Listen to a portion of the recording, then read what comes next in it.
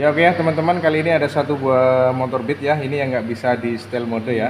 Contohnya seperti ini. Lihat mbak ini ya. Ini tangan tuasnya ini sudah kita tarik ya setel mode ya. Kita on kan kontak. Ini ya. Tapi indikator ini nggak mau ngedip sama sekali ya. Oke ya. Ini disebabkan karena eh, TPS itu bergeser. Sini aja mbak katanya oke kita matikan lagi. Skip. Oke ya caranya. Lihat di tuasnya pak.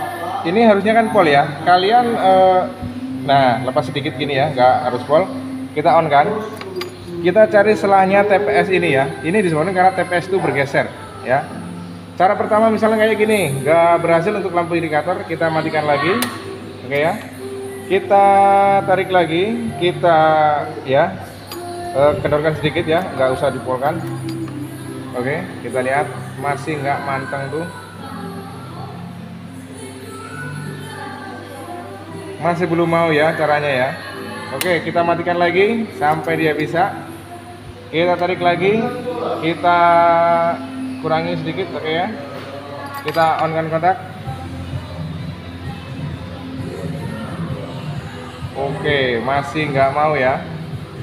Katanya. Enggak.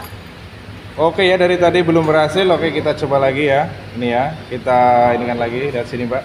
Kita kendorkan lagi ya. Pokoknya sampai bisa ketemu ya. Oke indikator nyala ya. Kalau ngedip berarti berhasil ya. Oke kita langsung lepas. Kita lihat. Kalau ngedip satu kali berarti setel mode jadi. Nah begitu ya teman-teman ya. Jadi begitu caranya ya kalau misalkan di setel mode nggak bisa ya itu karena biasanya disebabkan karena habis pembongkaran throttle ini ya jadi TPS nya ini bergeser ya jadi jangan panik gitu aja ya teman-teman semoga bermanfaat